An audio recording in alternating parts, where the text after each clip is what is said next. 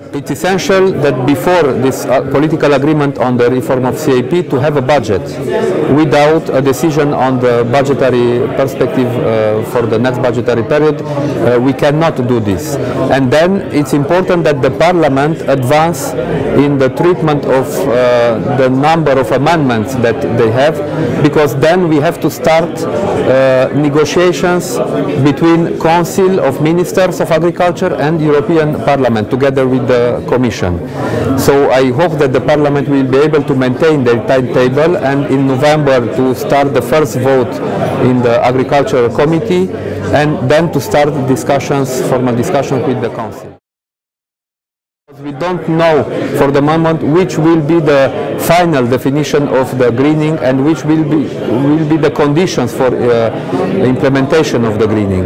As I mentioned today here, we already propose a system of equivalence uh, to the three measures greening with some strong agri-environmental programs. And I know that in Scotland, uh, the farmers, a lot of farmers are already involved in these agri-environmental programs. So.